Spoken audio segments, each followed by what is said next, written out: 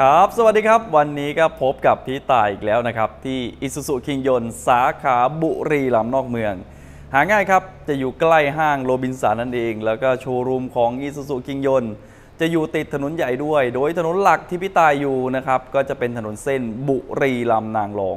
วันนี้วันที่เราพบกันนะครับ ดีใจมากๆ เป็นวันเสาร์เสาร์ที่ 30 มกราคม พศ 2564 นั่นเอง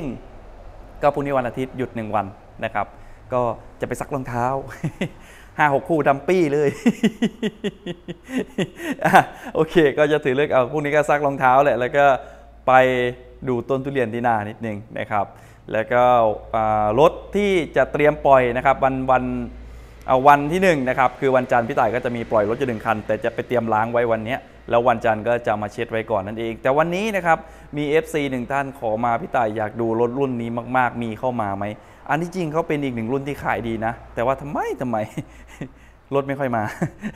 อะเดี๋ยวเราไปดูกันว่าเป็นรุ่นไหนเชิญครับครับแล้วก็จะเป็นเจ้าตัวนี้นี่เองนะครับที่มีทาง FC ขอมาอันดับแรกเลยนะครับ ก็ให้เดาก่อนละกันว่าเจ้าคันนี้เขาเป็นรุ่นไหนกันมี ใครดูออกไหมเออก็บางคนบอกเฮ้ยมันจะเป็นเจ้าตัว LDA หรือเปล่านะครับบางคนก็บอกเฮ้ยหรือจะเป็นเจ้าตัว Z อ่าตัวนี้นะครับจะเป็นตัวเตี้ยเราสังเกตได้จากเจ้าอ่าการวางนะครับตำแหน่งของไฟตัดหมอกกับไฟเลี้ยวนั่นเอง แล้วก็หน้าตาของเขาด้วยอ่าแล้วทีนี้เราจะมาดูตรงไหนว่าเฮ้ยเขาเป็น LDA หรือเขาเป็น Z นะครับก็ถ้าคนช่างสังเกตนะครับก็จะดูได้จากเฮ้ยจะเป็นเจ้าตัวไฟตัดหมอกนะครับเพราะว่าอ่า เจ้าไฟตัดหมอกของตัวเกรด Z นะครับเขาจะเป็นหลอด LED นั่นเอง ส่วนถ้าเป็นตัว LDA นะครับเขาจะเป็นหลอดไฮโดรเจนนี่ก็จะเป็นลักษณะอย่างนี้ คันนี้นะครับ FC ขอมาก็จะเป็นเจ้าตัว Space Cap 1.9 เกรด Z สีบรอนเงิน ราคานะครับ ราคาเงินสดค่าตัวของเขาเนี่ยจะอยู่ 742,000 บาท 742,000 บาทนะครับ โดยรถรุ่นนี้จะมีให้เลือกทั้งหมดอยู่ 3 สีด้วยกัน ก็ได้แก่สีบรอนเงินที่เราเห็นอยู่ข้างหน้านะครับ แล้วก็เป็นสีขาวไซบีเรียน แล้วก็สีดำนั่นเองครับสีบรอนเงินกับสีดำราคาเท่ากันนะ 742,000 แต่ว่าถ้าเป็นสีขาวนะครับจะราคาอยู่ที่ 735,000 บาท ถูกกับเพื่อน 7,000 บาทนั่นเอง รถรุ่นนี้นะครับก็เอาจริง ๆ แล้ว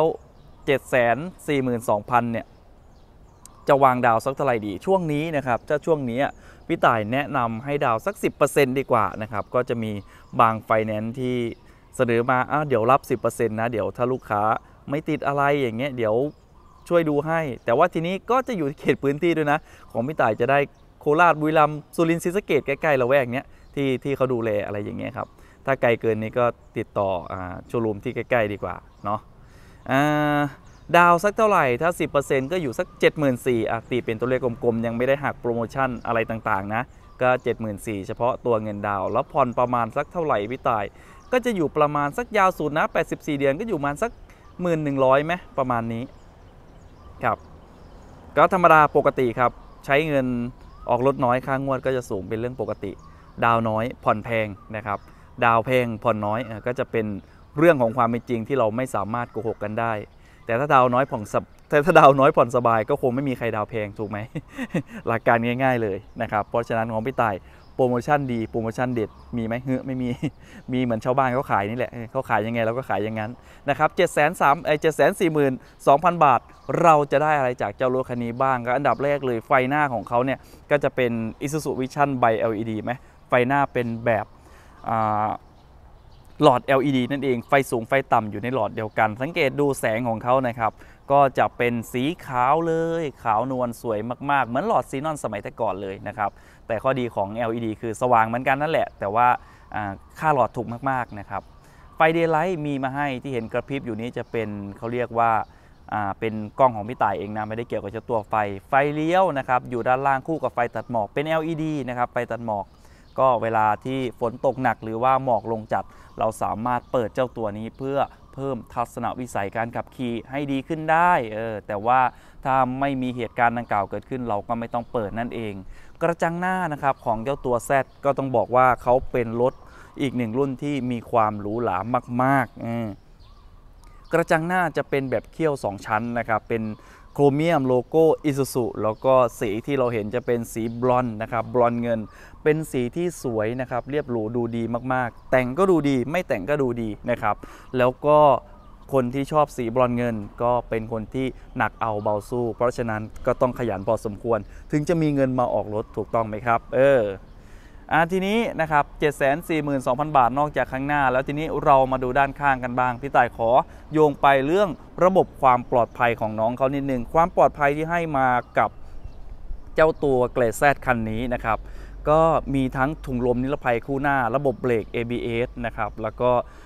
เขาเรียกว่ายังไง ระบบช่วยควบคุมการทรงตัว ออกตัวในทางลื่น ออกตัวในทางลาดชัน โอ้ ขนาดเป็นตัวเตี้ยนะนี่ ไม่ใช่ตัวสูง ออปชั่นยังได้ครบขนาดนี้ เพราะฉะนั้น 742,000 บาท ไม่ต้องเสียดายราคานะครับ ไม่ไม่ต้องเสียดายเงิน คุ้มคุ้มครับ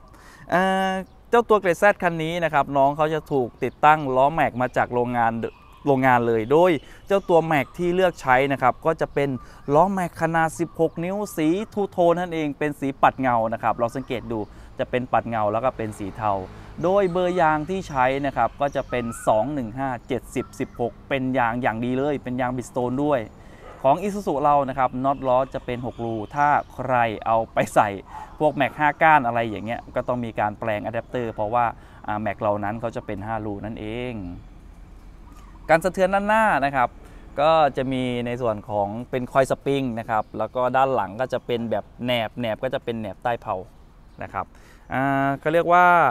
กระจกมองข้างนะครับ ถูกแล้วเรียกว่ากระจกมองข้าง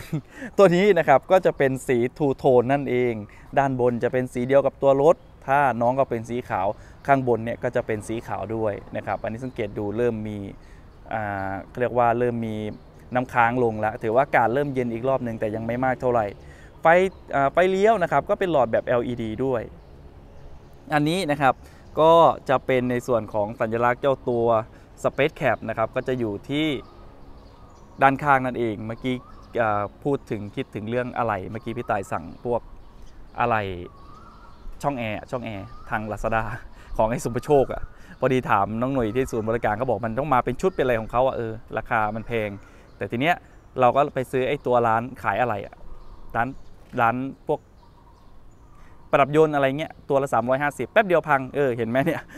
คือของแท้เนี่ย ครับครับราคาเขาแพงก็จริง แต่เขาทนทานใช้คู่มากับรถเป็น 10 10 ปีอะเออแต่ตัวประดับยนต์ยังไม่ถึงปีเลยพังเจงกระบงเลย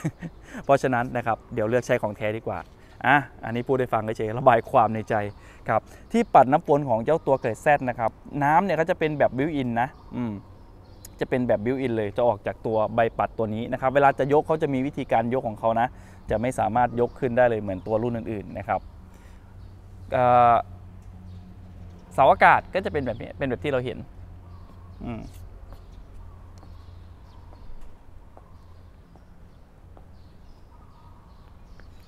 ก็จะเป็นแบบนี้เลย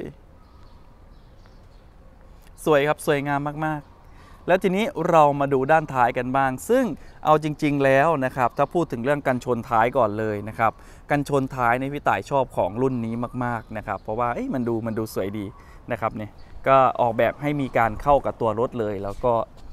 สามารถถอดได้นะตัวนี้ถ้าเราถอดปุ๊บก็จะเป็นเหมือนกับเจ้าตัวเกรด S เลย อันนี้ช่วงล่างของเขา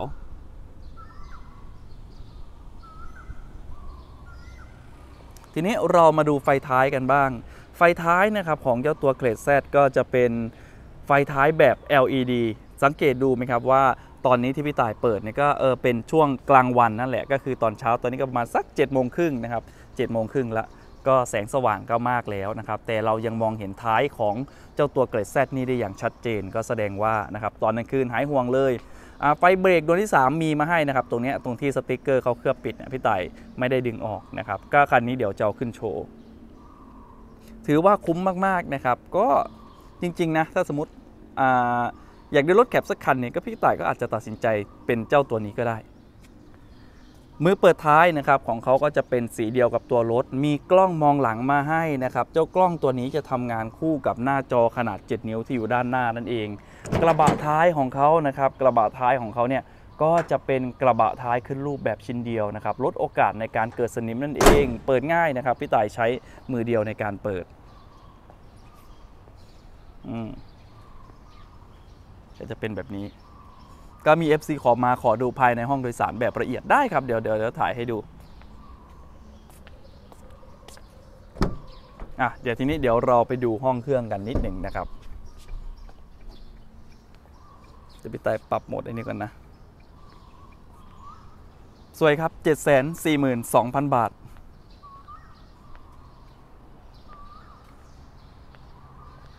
เมื่อวานไม่รู้เป็นอะไรปวดหัวทั้งวันเออแต่วันนี้เออนอนนอนตื่นขึ้นมาสดชื่น สดชื่นครับอืมเดี๋ยวแป๊บหนึ่งนะะเดี๋ยวพี่ต่ายพาไปดูเครื่องก่อนละกันเดี๋ยวเราค่อยกลับมาดูห้องโดยสารตัวฝากระโปรงตัวนี้นะเปิดฝากระโปรง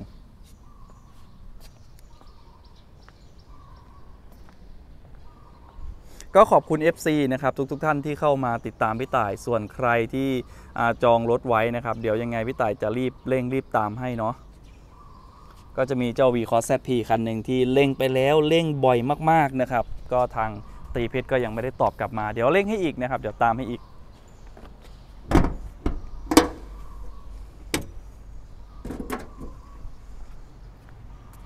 อะทีนี้เดี๋ยวเราไปดูเครื่องยนต์กัน เจ้าตัวเครื่องยนต์ของเกรด Z นะครับถ้าเป็นตัวเตี้ยนะตัวเตี้ยเนี่ยเขาจะมีเฉพาะเครื่องยนต์ 1.9 เท่านั้นอ๋อจริง ๆ แล้ว 1.9 แต่ก่อนเนี่ยเจ้าตัว Z ก็จะเทียบกับเจ้าตัว SLX สมัยแต่ก่อนใช่ไหมที่เป็นเครื่องยนต์ 2005 แต่ทีนี้ 2005 โอ้ใช้มานานละ แล้วทีนี้เราคิดค้นนะครับ เครื่องยนต์ตัวใหม่ที่มีเขาเรียกว่ายังไงอยู่ระหว่างที่กึ่งกลางอะเครื่องไม่ใหญ่ แต่ว่า ได้แรงม้าแรงบิดเท่าเครื่องใหญ่ๆอะไรเงี้ยก็จะเป็นเจ้าเครื่อง 1.9 นี่แหละคือเราไม่ต้องกังวลนะครับว่าเขาจะไม่มีความทนทานคือเครื่องของ Isuzu นะครับเขามีความแข็งแรงทนทานนะครับตามแบบฉบับของ Isuzu อยู่แล้ว โดยเครื่องรุ่นนี้นะครับ generation แรกนะที่เขาเปิดตัวมาเนี่ยตอนนั้นคือฮามากนะครับก็มีการทดสอบวิ่งจากไทยไปจีนโดยไม่ดับเครื่องยนต์เออนี่ ครับแล้วก็ตัวที่เราเห็นตัวนี้นะครับก็จะเป็นใน generation ที่ 2 แล้ว เพราะฉะนั้นก็มีการพัฒนาให้มีความประหยัดทนทานอย่างต่อเนื่องนะครับโดยเครื่องยนต์มีขนาด